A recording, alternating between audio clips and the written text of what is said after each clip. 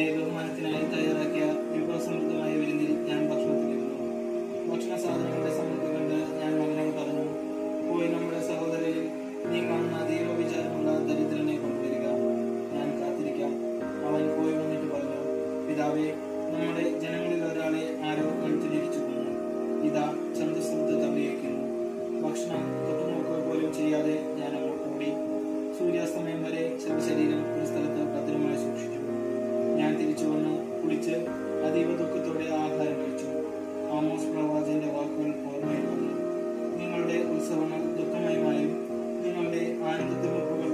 വിലാപമായും മാറും. ഞാൻ കരഞ്ഞു. സൂര്യാസ്തമയത്തിന് ശേഷം ഞാൻ ചെന്ന്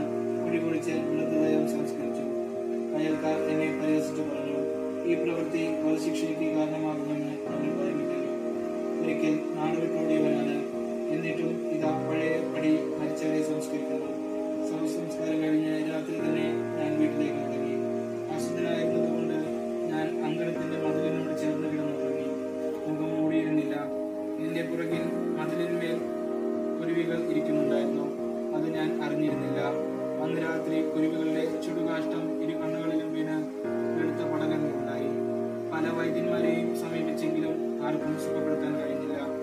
ഇലിമയാസിലേക്ക് സ്ഥലി- മാറിപ്പോകുന്നതുവരെ അഹിക്കാർ എന്നെ സംരക്ഷിച്ചു.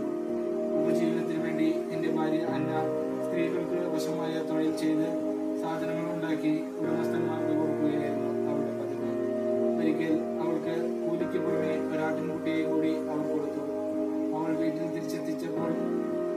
ആട്ടിൻകുട്ടിയുടെ കരച്ചിൽ കേട്ട് ഞാൻ ചോദിച്ചു ഇതിനെ എവിടെ നിന്ന് കിട്ടി? കട്ടെടുത്ത് തലേ